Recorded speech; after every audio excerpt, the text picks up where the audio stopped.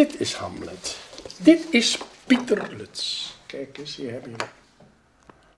Ik denk dat het specifieke van hem de light comedy was. Eh, Daar, daar excelleerde hij in. Erik Schneider speelde vaak samen met Pieter Lutz en met zijn broers.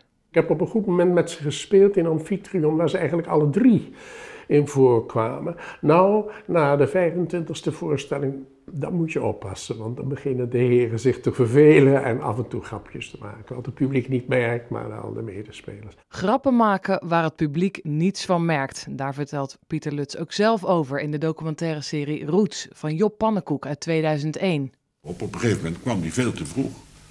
Kwam hij veel te vroeg per ongeluk op. Dus dan kon je gewoon, wat kom jij doen? Eruit? Weet je wel. Schrok. Maar hij ging weg natuurlijk. En het publiek denkt, het hoort erbij. Dan kwam hij later kwam hij toen op het goede moment op. En dan zei ik gewoon, ben je nou alweer?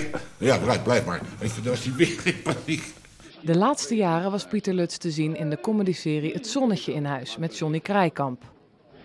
Ja, ik heb eh, niemand willen me hebben. Ik heb hem nog aangeboden aan Bert. Als waakhond. Herdershonden zijn prima waakhonden. Mag ik even kijken? Het is geen herdershond. En dat weet zij toch niet? De laatste keer dat Erik Schneider Pieter Lutz zag, was toen hij sprak op de crematie van zijn broer in mei dit jaar. En ik heb nog nooit iemand zien lachen en huilen tegelijk.